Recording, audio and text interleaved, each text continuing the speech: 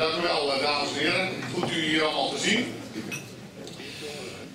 Alle raadsleden, bijna alle raadsleden heb ik eh, vandaag eh, hier ook gezien. Allemaal welkom in eigen huis, zou ik bijna zeggen. Allereerst natuurlijk met de allerbeste wensen, zowel zakelijk als zeker privé, een gelukkig en gezond 2012 toegewenst. En het is met trots, dames en heren, dat ik u hier vanavond ontvang in onze mooie multifunctionele raadzaal. Want na een jarenlange tournee eh, door eh, de diverse zalen die in alle plaatsen in onze mooie gemeente wel te vinden zijn, organiseren we nu voor de eerste maal onze nieuwjaarsreceptie hier in dit Hof van Koevoorde. Ongeveer de helft van onze medewerkers is gehuisvest in dit pand. Andere medewerkers werken nu nog verspreid over verschillende gebouwen. En het afgelopen jaar hebben we op verschillende manieren gepoogd de huisvesting van onze medewerkers eh, zo te regelen dat dat en voor de gemeenschap en voor de collega's zelf meerwaarde biedt. En tot nog toe heeft dat nog geen sluitende oplossing opgeleverd. U begrijpt, ik had natuurlijk gehoopt om vanavond een nieuwe oplossing te kunnen melden, maar de kogel is nog net niet helemaal te. Op het moment dat er een passende oplossing is, dan zal ik natuurlijk zo snel mogelijk daar ook melding van maken. Maar terug naar dit pand. Want in samenwerking met eh, onze huisgenoten, mag ik wel zeggen, hebben we deze receptie kunnen organiseren. U zult dat straks ook eh, aan de lijf kunnen ervaren als u, zoals Annie de Vent al aangaf, eh, wordt uitgenodigd straks om een hapje en een drankje beneden te nuttigen, waar u ook kunt zitten. Dan zal daar ook muzikaal onthaal worden verzorgd door een vertegenwoordiging van CQ. De twee muzikanten, gitaristen Jaap Klok en Ab van der Leij. En die samenwerking, eh, overigens ook met de andere partners, hebben we de afgelopen zeven maanden steeds verder ontwikkeld. We zijn erg tevreden over dit gebouw, zowel in de aanblik van onze stad als in haar functie. Het maatschappelijk rendement van de investering op deze plek laat zich nu al zien. En op de drempel van het Olympisch jaar, met de zomerspelen straks in Londen, past een historische vergelijking. Je zou kunnen stellen dat dit in wezen een gebouw is met dezelfde functie als de oude Agora bij de Grieken, ruim 2000 jaar geleden. Een open plaats waar ontmoetingen centraal staan. Of dit nu politieke, sociale, theatrale of muzikale ontmoetingen zijn, van oudsher ook een plek voor gesprek. De mooie gedachte dat in ruim 2000 jaar, 2000 jaar de wereld zo is veranderd, juist ook op het vlak van de communicatie, terwijl de plek waar we de gesprekken voeren over hoe we de maatschappij vormgeven in de kern niet is veranderd. Onlangs hadden we nog hier in deze zaal de leerlingen van de Nieuwe Vest op bezoek, als een soort jeugdgemeenteraad. Fantastisch om jongeren hier in deze zaal op, die betrokken, op een betrokken manier te zien discussiëren. En van de voorzitter van die raad heb ik zeker een en ander over gesproken.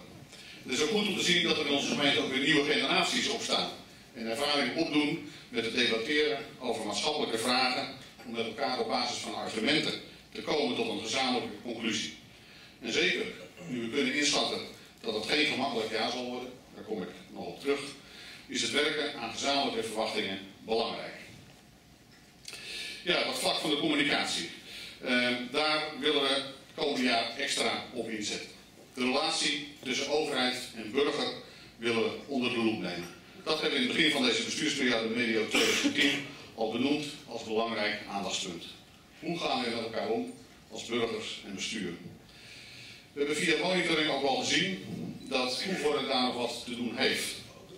Uit die monitor bleek dat de gemeente Koevoorde op veel terreinen gelijk of hoger scoort ten opzichte van vergelijkbare gemeenten. Maar juist op die relatie bestuur, dus college, raad en politiek, en burger aan de andere kant scoren we minder goed dan vergelijkbare gemeenten. En dat baart zorg.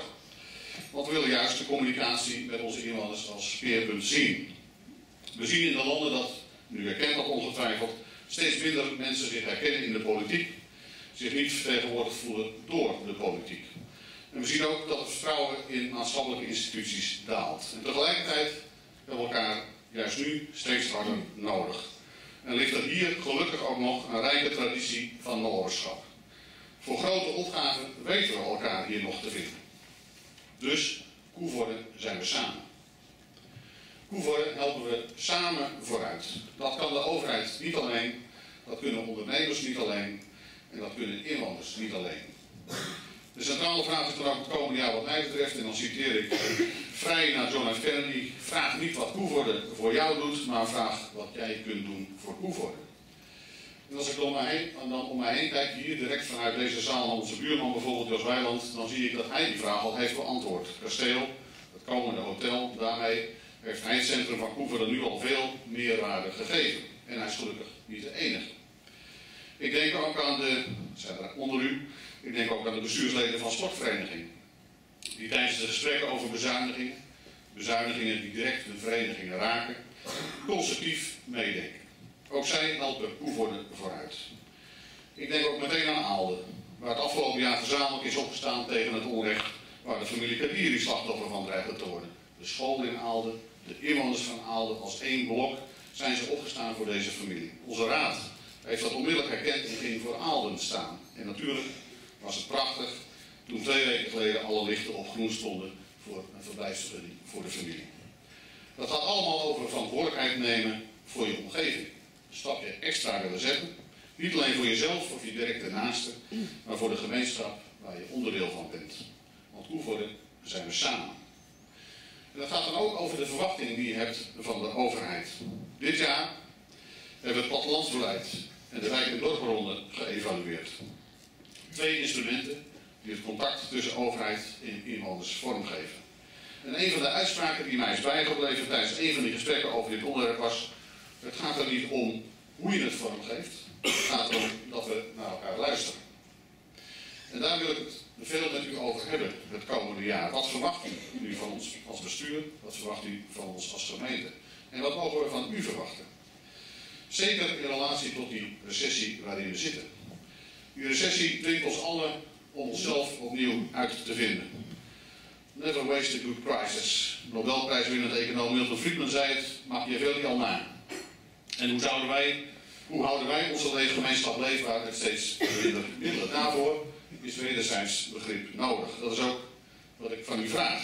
Begrip en ruimte. Ruimte om gezamenlijk te denken en te zoeken naar effectieve aanpakken. Bijvoorbeeld over hoe we ervoor zorgen dat iedereen mee kan blijven doen, ook als je zonder werk komt te zitten. Of als je schulden zo groot zijn dat je minder te besteden hebt dan het minimum. Dit zijn een paar van de reële problemen van het komende jaar. Dames en heren, we zetten ons ten volle in om iedereen mee te laten doen. Een opsteker was zeker het rapport van de Rekenkamer, waaruit bleek dat ons reïntegratiebeleid succesvol is. Intern was die overtuiging natuurlijk al, maar het is prettig dat ook door een onafhankelijk onderzoek, dat dat door een onafhankelijk onderzoek wordt bevestigd. De komende jaren krijgt de gemeente een nog grotere taak in het sociale domein. Jeugdzorg onder verantwoordelijkheid van de gemeente, nieuwe wet werken naar vermogen door de gemeente uit te voeren, veranderingen die ook nog eens gepaard gaan met bezuinigingen. We hebben ons erop voorbereid Gemeenten staan het dichtst bij degenen die ondersteuning nodig hebben. Die mogen op ons blijven rekenen. In de kern, in de kern is die verandering dus goed. Maar om te voorkomen dat mensen langs de zijlijn komen te staan, is de sleutel, en dan citeer ik nog maar een Amerikaan, The economy is stupid, werkt dus. En op dat terrein hebben we gelukkig successen geboekt het afgelopen jaar. De werkgelegenheid in Koevoorde, u heeft het misschien gelezen, zelfs met anderhalve procent gestegen. Geheel tegen de trends in. We hebben ook nieuwe bedrijven naar Koevoorde gekregen en grond verkocht aan bedrijven die gaan uitbreiden. In dat licht is de komende afslag van de N34 ook goed nieuws voor Koevoorde. Bedrijventreinen worden beter bereikbaar. Het centrum van de stad wordt ontlast van verkeer. Beter voor de verkeersveiligheid en de leefbaarheid van de stad. Ook als Duits-Nederlandse bedrijventerrein, Europark, blijft groeien. En dan is de komst van de spoorboog een belangrijke voorwaarde. We verwachten, uh, en onderzoeken initiëren dat ook, dat de werkgelegenheid stijgt als die spoorboog er straks is. Ook deze onderwerpen wil de gemeente het komende jaar met u en anderen in deze gemeente verder verkennen. Als we een spoorboog realiseren, heeft dat effect op het stationsgebied. Hoe zien we dat gebied dan voor ons? Dat bepalen we samen.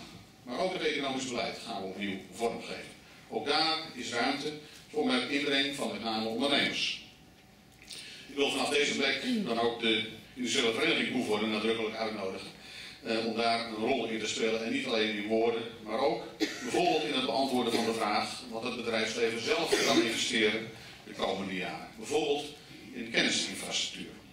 Ook kijken naar onze grensligging.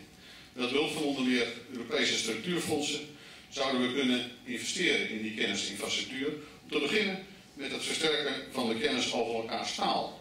Van schoolbegeleiding naar stagemogelijkheden uh, aan beide kanten van de grens. Dat trekt uiteindelijk hoogwaardig personeel naar deze regio vanuit Nederland, maar ook vanuit Duitsland. En juist daaraan, aan dat hoogwaardig personeel, hebben we de komende jaren een tekort. Met onze grensligging kunnen we ons profileren in Nederland, in Duitsland en bij de Europese Unie. Als we nog meer gaan samenwerken met bijvoorbeeld Emlichheim, onze buurgemeente, die komend, komend jaar 700 jaar bestaat, versterken we onze positie. Want Koevoorde, dat zijn we samen. Werk creëren. Een grotere verantwoordelijkheid in het sociale domein en daarbij bezuinigen. Drie elementen die al tekenen dat de gemeentelijke organisatie een druk jaar voor de boeg zal krijgen. Dames en heren, toen ik eh, op het journaal zag dat bij het Olympisch Stadion in Amsterdam als oudjaarstunt de spreuk bij de ringen was ontvreemd, moest ik toch even aan onze eigen personeelsvereniging denken. Citius, Altius, Fortius. De Latijnse spreuk voor sneller, hoger en sterker geldt ook voor de gemeentelijke organisatie. Meer doen met minder geld. De organisatie heeft zich de afgelopen jaren al voorbereid, meld ik al. Maar nu de wedstrijd voor de deur staat, moet het wel gebeuren. De omstandigheden van het moment zullen dan mede ons succes bepalen. Wat mij betreft denken we daarbij niet vanuit de regels, maar vanuit de samenleving. Niet naar de letter, maar wel naar de geest van de wetten en regels die deels ook nog op ons af moeten komen. Slim, zuinig en flexibel als motto. Eén ding staat voor mij als een paal boven water, dames en heren. De ontwikkelingen die op ons afkomen, daar staan we met allen voor. We zullen de krachten moeten bundelen, ondernemers, inwoners, instellingen. Met z'n allen staan we aan de lat om creatieve oplossingen te bedenken die Koevoorde vooruit kunnen helpen. Ik hoop u vaak te ontmoeten het komende jaar in deze Agora van Koevoorde. Dan gaan we het gesprek aan over hoe we onze gemeenschap verder kunnen helpen. Ik wens u nogmaals graag een heel goed 2012. Koevoorde zijn we samen. Graag tot ziens.